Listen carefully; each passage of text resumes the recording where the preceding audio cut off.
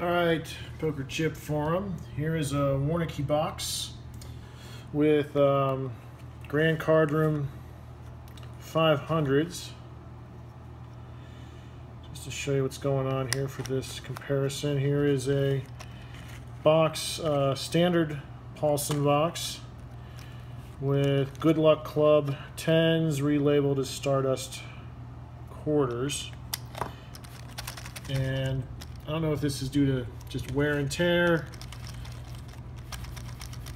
but the Paulson box is definitely a looser fit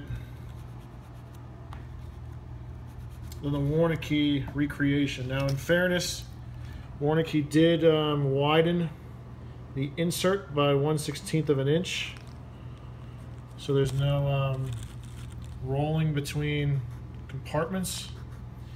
And in my opinion, the insert material from Warnke, this is the Warnke insert. Here's a uh, Paulson insert. The Warnke insert divider is a little thicker.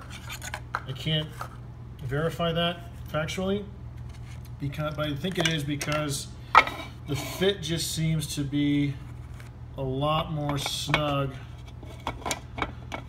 in the uh, Warnke box than it does in the Paulson box. There's just a lot of play here, a lot of movement. Again, I don't know if that's wear and tear, age, or what. Um, and just to show that it's not a function of the chips, we're just going to quick uh, swap these out and I'll show you the, the grand card rooms are just as loose in the Paulson box as the Good Luck Club chips are. You gotta do this a barrel at a time so the insert doesn't pop out. So here's the grand card rooms in the Paulson box.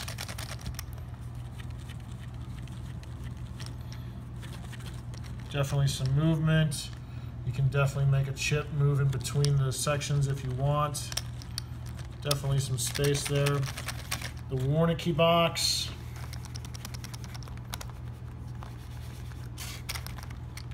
Pretty snug. You can you can make it jump, but you really got to bow the side of the side of the box out. These are These are a nice fit. Again, here's the comparison with Paulson.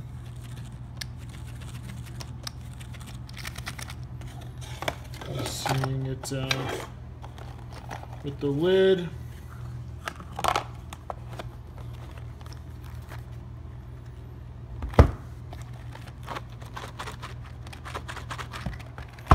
One more little shake test comparison here. Paulson on the bottom. Warnke on the top. There you go.